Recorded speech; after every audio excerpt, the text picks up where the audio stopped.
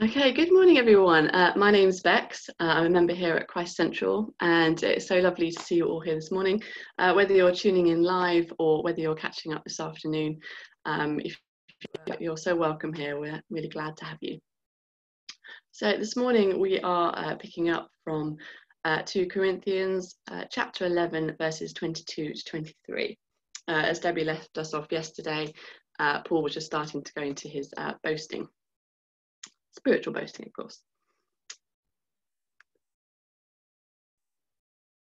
Whatever anyone else dares to boast about, I am speaking as a fool, I also dare to boast about. Are they Hebrews? So am I. Are they Israelites? So am I. Are they Abraham's descendants? So am I.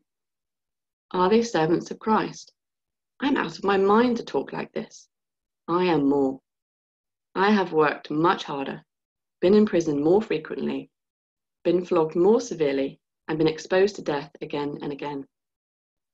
Five times I received from the Jews 40 lashes minus one. Three times I was beaten with rods. Once I was pelted with stones. Three times I was shipwrecked. I spent a night and a day in the open sea. I have been constantly on the move. I have been in danger from rivers in danger from bandits, in danger from my Jews, in danger from Gentiles, in danger in the city, in danger in the country, in danger at sea, and in danger from false believers. I have labored and toiled and have often gone without sleep. I have known hunger and thirst and have often gone without food. I have been cold and naked. Besides everything else, I face the daily pressure of my concern for all the churches. Who is weak, and I do not feel weak? Who is led into sin, and I do not inwardly burn? If I must boast, I will boast of the things that show my weakness. The God of the Father of the Lord Jesus, who is to be praised forever, knows that I am not lying. In Damascus, the governor under the king Aretas had the city of the Damascenes guarded in order to arrest me but I was lowered in a basket from a window in the wall and slipped through his hands.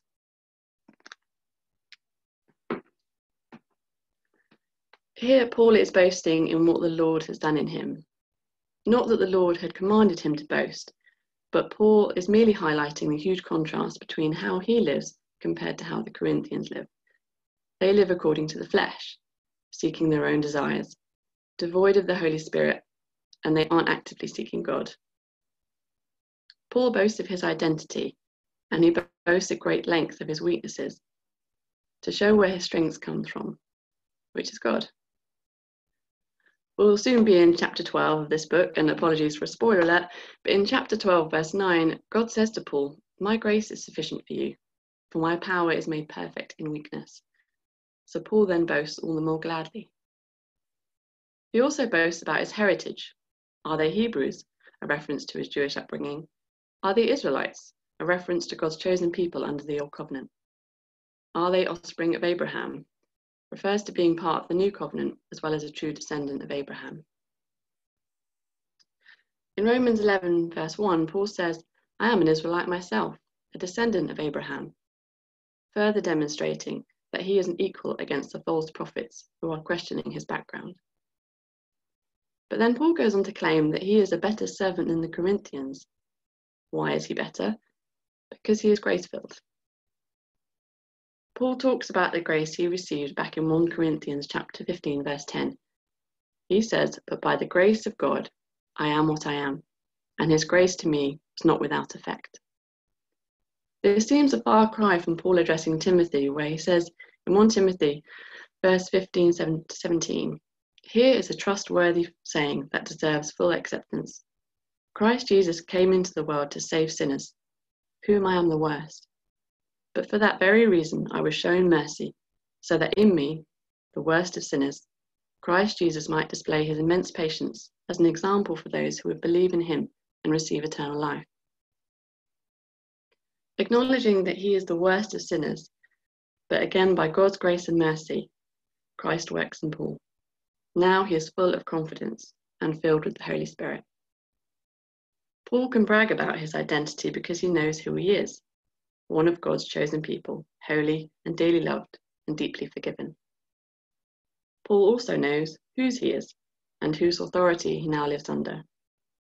He sees God in all his majestic wonder. Paul knows God's place in his life, and he knows his place in God's.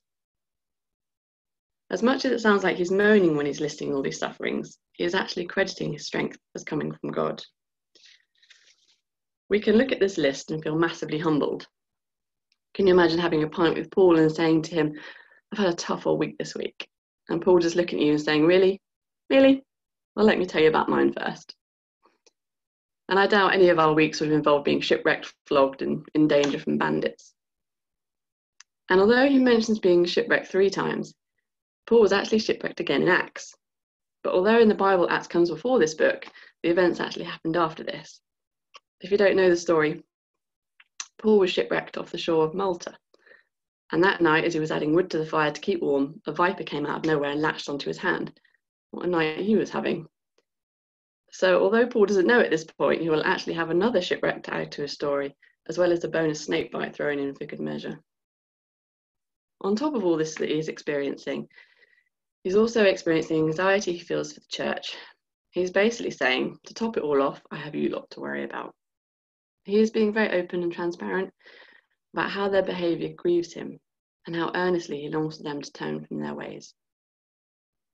When Paul is making his slightly odd asides of, I am out of my mind to talk like this, and also, I'm speaking like a fool, you'd be forgiven for thinking that perhaps he was going a bit mad. But Paul is actually out of his comfort zone here. Boasting is not in Paul's nature.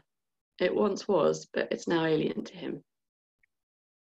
Which shows how the Holy Spirit can transform you, as it did Paul, to not only reverse his habits, but to make him feel uncomfortable to exercise them. God is amazing. If you think he can't change some things about you, he can. Just look at how he changed Paul.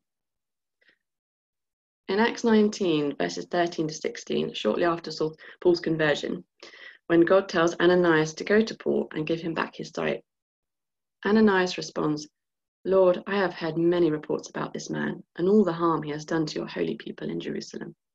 And he has come here with authority from the chief priest to arrest all who call on your name. But the Lord said to Ananias, Go. This man is my chosen instrument to proclaim my name to the Gentiles and their kings and to the people of Israel. I will show him how much he must suffer for my name. God used Paul greatly, but he knew Paul would also suffer greatly. But God is using it for good, to bear witness, so that the Corinthians can see that A, Paul, who was previously a nasty piece of work, has now been utterly transformed by God and they have the opportunity to do the same, as do we. Notice also that previously Paul was acting under the authority of the chief priests, and now he acts under the authority of God. And B, that although here is a man who has suffered so much, not just for his faith, but also for them, he keeps going. He endures so much for their sake. What an inspiration to see that in action. If God can use Paul, the worst of sinners, the least of the apostles, and the weakest of men, to accomplish these extraordinary things, and he can certainly use you to accomplish equally great things. Your past, your sins, your mistakes, your successes, your joys, and your sorrows, although some of these things we would prefer to forget, they are part of who we now are. And God will use it to witness to others as to how He has blessed us and how they too can receive this blessing of eternal life. And I finish in prayer.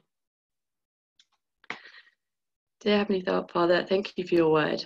Uh, thank you for the inspirational characters we have uh, to base our lives upon and to, to inspire towards. And thank you that you used Paul, who saw himself as the worst of sinners and the weakest of men, and the amazing things that you did through him.